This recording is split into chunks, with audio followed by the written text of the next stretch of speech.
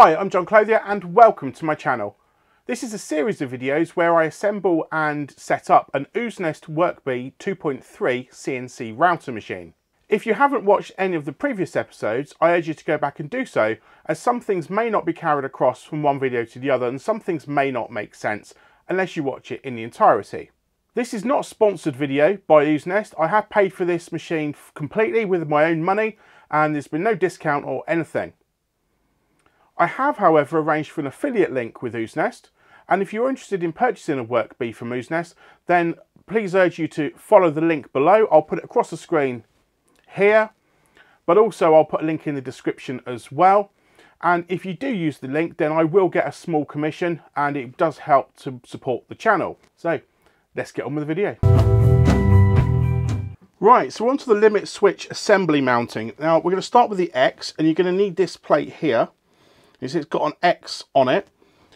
It needs to be orientated with a slot at the top and the X at the front.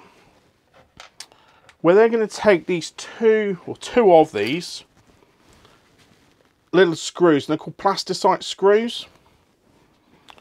We're also going to need the limit switch itself, and this is the one which has got the black tag of zero at the end. You need to be careful when you're attaching these because if you put too much force on it, you can break the switch. So let's go careful. So I'm going to start by lining it up and it needs to be orientated with the silver lever pointing upwards. So in my example with the red at the top and the black at the bottom. And I'm going to turn it over put a screw in. Let's get my screwdriver at the ready first. Now the instructions suggest that you tighten it in and then back it out a little way and then tighten in and then back out a little way and you just keep repeating that until you get it all the way in. Let's get the other one in as well. It's quite fiddly. You probably want to do this over at your bench really. It's kind of okay once it gets started. Now there is a small amount of gap and a bit of play in there, so do just make sure that it's all lined up nicely. Then going to take one of the 8mm bolts and drop it in through the slot. And on the back of that, one of the little drop-in T-nuts, making sure that the grooves are towards the head of the bolt. And just put a turn or two on just to hold it in place and then we're going to attach it. The position for this is on the back of the X gantry towards the left hand side when you're looking at it from the rear and using the drop-in bolt it just goes into the top hold it up against that plane and hold it square as well and just tighten it up. Right, so for the Y section, it's exactly the same. Install the switch, which we already had connected up down here anyway. And then what it does is you can put it onto the top you see that we've got this L shape and that kind of snugs into that corner.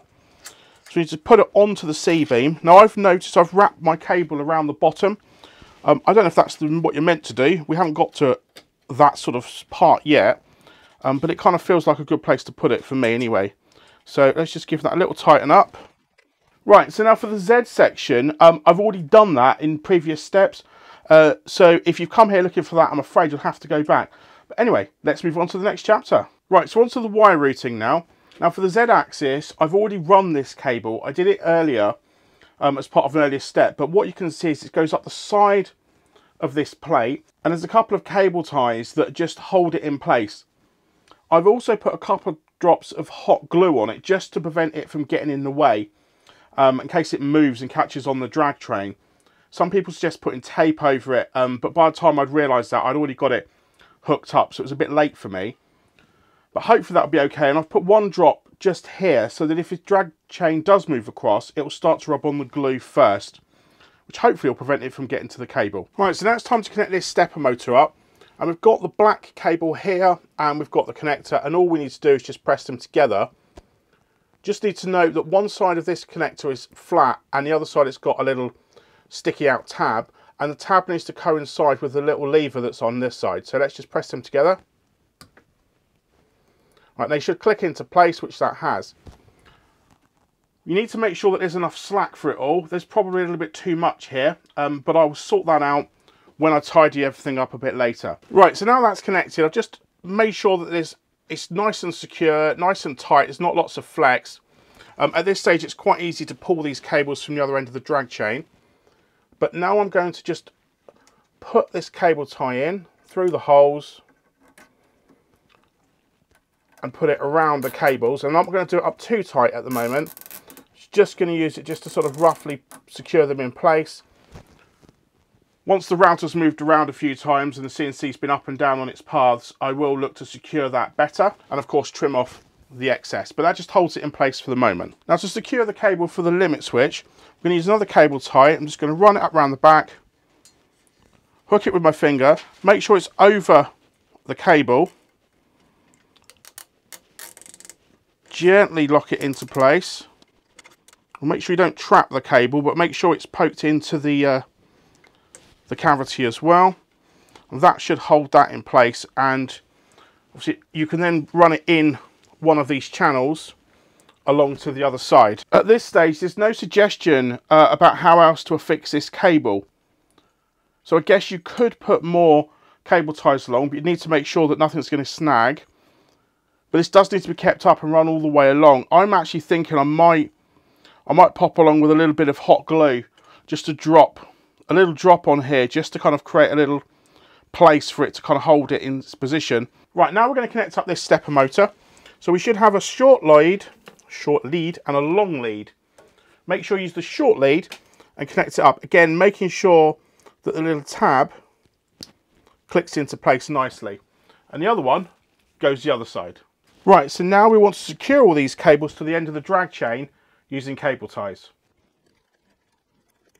Right, so we've got one wire left to install and it's this short stepper motor cable and this connects on to the X stepper motor and then this cable as well as all the others needs to be fed through this square hole on the side. Now we will need to cable tie them all here but I'm going to do that once I've mounted the Duet controller to make sure that I've got everything where it needs to be. Okay, so that's it for this video. Um, please join me again for the next instalment where we'll make some further progress. Bye for now.